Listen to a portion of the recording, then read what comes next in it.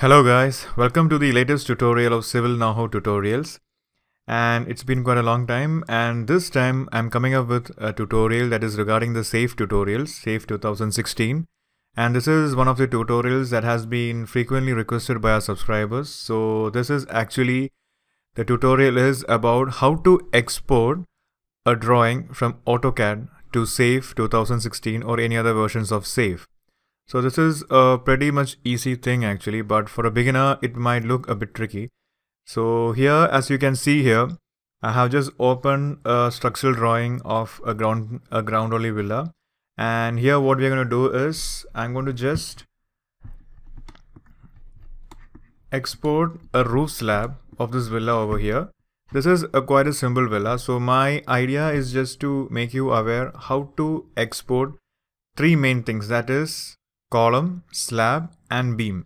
And this as you can see it's a flat slab. So usually we use a safe software for these flat slab analysis. So for this one we are making it a very much simple. I'm not going to make it very much complicated. Just how to Im import the, the slab, the column and the beam. So friends, uh, what I have done over here is that I have copied this drawing, this layout from here to here. So here I have deleted all the structural details and what you can see right now is just the beam and the column layout of the roof slab. So the next step is to draw the beam layout that we have to export from AutoCAD to the uh, the SAFE 2016 software. So as we know that when we do the analysis in the SAFE model, or any other software, we assign the beam as a single line. So here in this drawing, it is as uh, drawn as a double line. So we are going to draw the center line, which is denoting the beam. So for that, let's uh, go for the offset. And since uh, this drawing is in centimeters and the beam width is 20 centimeter, I'm going to offset 10 centimeter from the any of the beam sides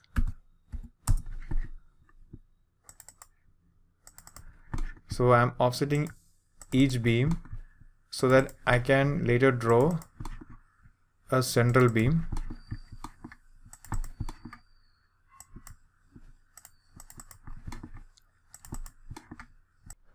So here I have finished offsetting all the beam lines and one thing that you have to make sure is that the all the central lines that we have offset should meet at intersection point at the column or at the beam to beam joint over here to have a proper connection.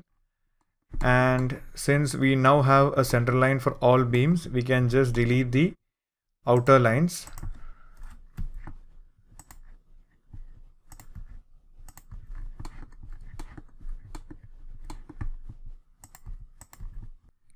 So here we are done with drawing the lines for the beams. And next is that we have to draw the slab for this villa and before going to the slab you can see that we have assigned all the lines that we have drawn for the beams to a layer named e-beam.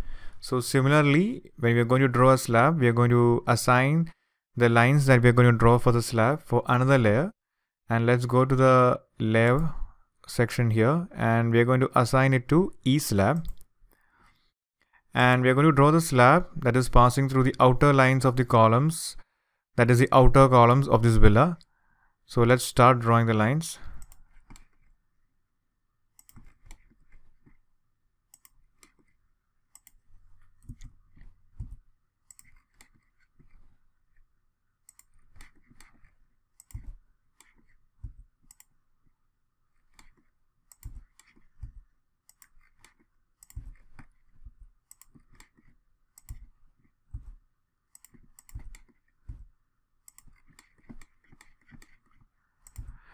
And now by using the trim option we can just delete the unwanted unwanted portions.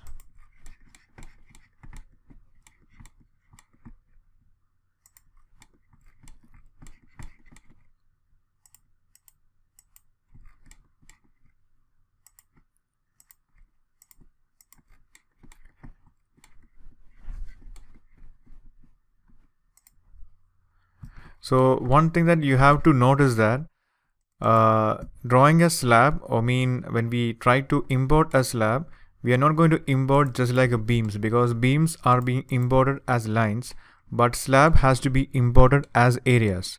So now uh, we have got we have drawn uh, the slab by using the lines and next is that we have to join all these lines that we have drawn for the slab. That is the entire line will have to be converted into a polyline so for that we are going to use the p edit option.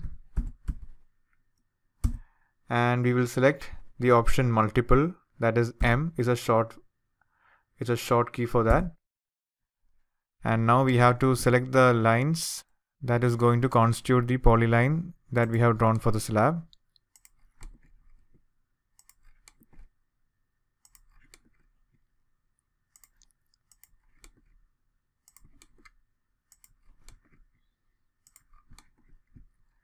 and after selecting the lines just select the ender. And after selecting the ender now we have to join the lines. So for that let's uh, press on J and click on enter again.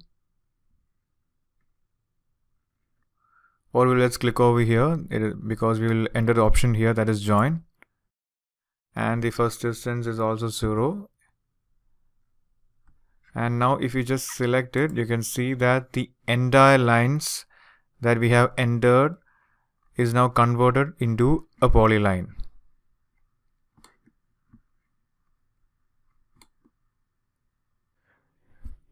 So now we are finished with the slab and the next one remaining is the columns.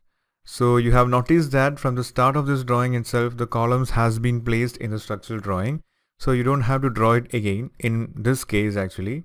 But the only thing that you have to note is that the columns has to be a polyline or a closed section because it shouldn't be a bunch of lines it has to be a closed section because just like slab we are going to import or export from AutoCAD to SAFE 2016 as areas. The slab and columns are being exported from AutoCAD as areas and the beams as lines. So this is an important thing that you have to note. And here you can find that the columns are being assigned because the, every column has been assigned to a layer E column. So when you import it, make sure that the all the beams are assigned to a single layer, columns to another layer, and the slab to the next layer. So now the preliminary part is uh, finished about the uh, about working on AutoCAD drawing. And next, uh, what we have to do is that I'm going to delete this drawing because I don't need this drawing actually. And next is another important note. So before exporting or before uh, when we start to export it make sure that this drawing the any of the points of this drawing lies in the origin. Because the one thing that most of the people make the mistake is that just, just they just uh, import it directly.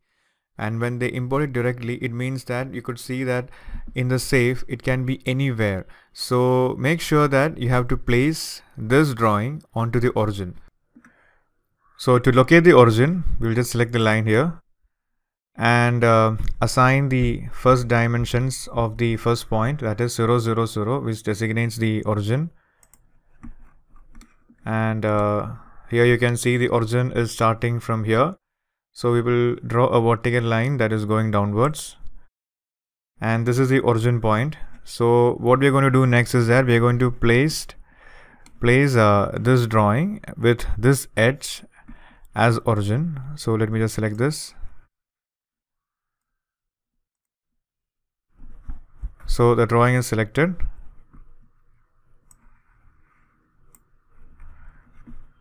And we will just move from here. Let me deactivate the ortho here. Okay. And move the drawing.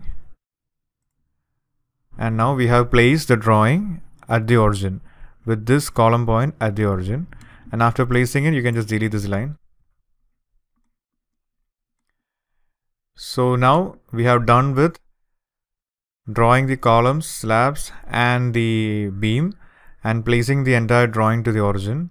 And the next point that we have to note is that or the next step that we have to do is that we have to convert this drawing into DXF because when we import the drawing from AutoCAD to into the safe, you can only import as a DXF. So for that, there is a command that is DXF out. So just press D, X, F, out and press the enter.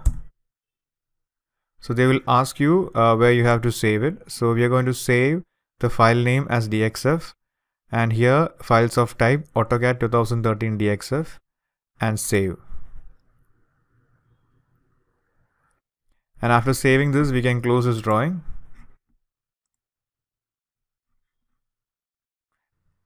So after closing the AutoCAD drawing, now we have opened the SAFE 2016 software. So next what we have to do is we have to import the beam, the slab and the columns from the AutoCAD drawing that has been saved as DXF. So for that we will go to File and select the option Import and then we select the DXF drawing file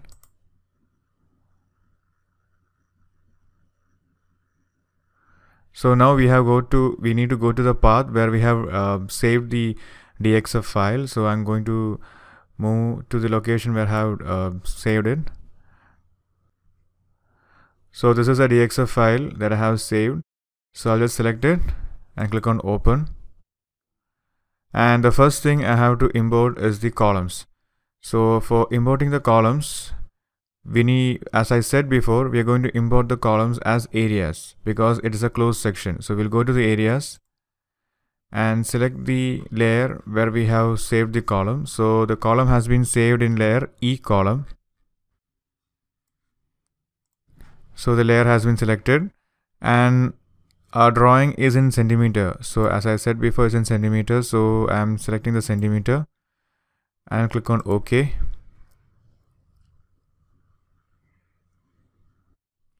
okay so now you can see the columns has been imported from the DXF AutoCAD drawing. So now we will assign the columns here. So now I'm going to assign the properties for these imported columns here. So I have already defined the properties for columns beams and the slab. And uh, in this tutorial I'm not going to define or explain more about defining the properties for columns, beams and slabs because if you have any doubt regarding it, you can just uh, refer my previous tutorial. So now I'm going uh, straight into assigning the properties. So first let me assign the properties for the columns that I have imported. So I'll go to the draw columns option and I'll select the property below as column 20 into 50 and the height below is uh, assigned as 3 meter. So I can go straight I can start assigning it. So you have already seen the column is been assigned. So in similar way, I'm going to assign all these columns over here. So now I have finished assigning the column properties for the, all the imported columns. So you can see now the columns has been filled in every positions and next what I'm going to do is that I need to import this uh, the beam actually. So we'll go to file again. Go to import dxf drawing file. And we'll open the dxf file.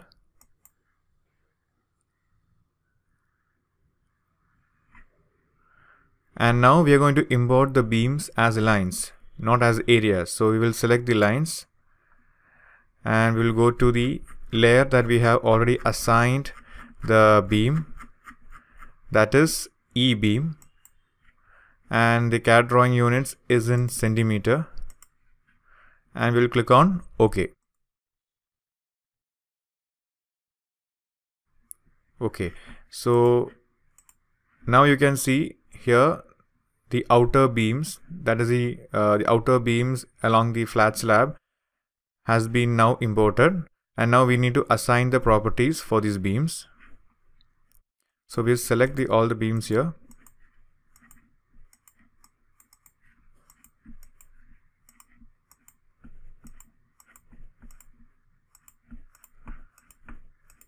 And just like columns, we have also already defined the properties for the beam. So we can go straight to assigning it.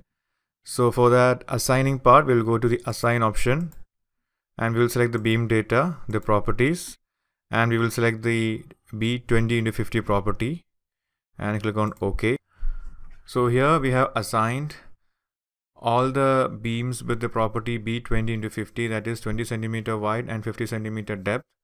And after assigning the beams, next we move on to importing the slab and assigning the properties.